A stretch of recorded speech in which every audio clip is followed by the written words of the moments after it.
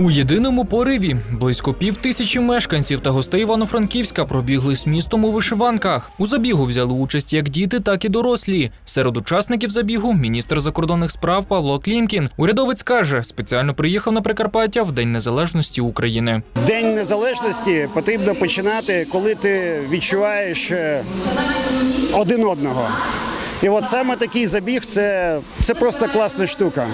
От коли хтось тобі малює цей прапорець, е, просто дівчинка, вона запам'ятає це на все життя. І я запам'ятаю це.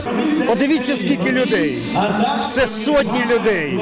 Весь Франків це побачить. Ми це побачимо. Це дійсно класно.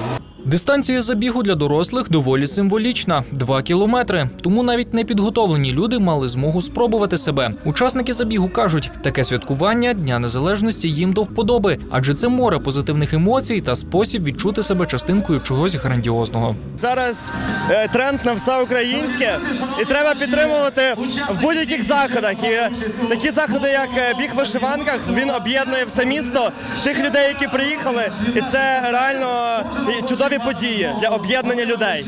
Ну і плюс е, вишиванки це ж наша ідентифікація. І тут ми побачили так багато різноманітних вишиванок. Це так красиво, що просто неможливо не бути тут. Одразу після дорослих на старт вийшли і найменші бігуни. Їм потрібно було подолати всього 100 метрів. Всі учасники отримали подарунки. Крім того, серед бігунів також розіграли додаткові призи. Організатори кажуть, захід є цілком благодійним. Всі кошти підуть на лікування жінки, яка потребує пересадки нирок. Ірина Суховій, вона сьогодні буде, буде на сцені. Ми будемо всі кошти, котрі ми зібрали, е, передамо сьогодні. Цей захід, котрий сьогодні, це в два рази найважливіше, тому що він об'єднує як і спортивну громаду, так і загалом усю громаду міста. Тому я, я щаслива, що е, ми це започаткували. Це буде традиція, і даний захід буде завжди носити характер благодійного. Завдяки зусиллям учасників забігу та просто небайдужим людям вдалося зібрати більше 35 тисяч гривень. Однак на цьому організатори зупинятись не збираються. Вони планують і надалі влаштовувати забіги, аби зібрати 63 тисячі євро для Ірини. Максим Веприк, Андрій Гаргара, телеканал 402.